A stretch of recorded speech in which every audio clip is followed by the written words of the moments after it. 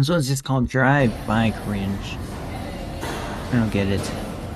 But yeah, she couldn't lift it, I guess. Let's let's let's see the context of it. Why did they name it this? IRL chatter. Seeing other people cringe is surprisingly funny. It's me for yeah. That's that's me at the gym, bro. That's me at the gym. Not gonna lie. that's me at the gym. She's just she's she's learning, okay?